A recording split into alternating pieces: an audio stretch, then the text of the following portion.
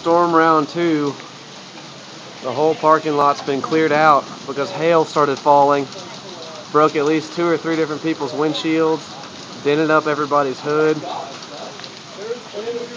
Also, there, I don't even know what I'm saying anymore. It's too dark to see, but we had to move all the cars back across the street under a parking garage where they'll probably get ticketed pretty heavily.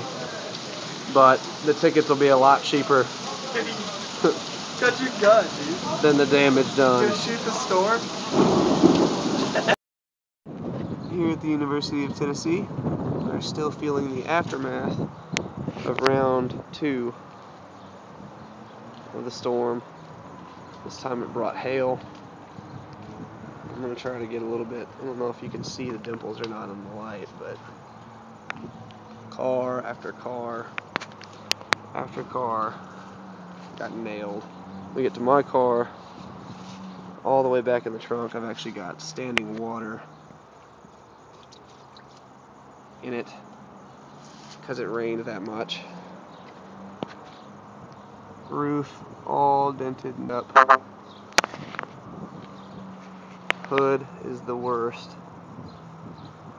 It was not a gentle storm, to say the least.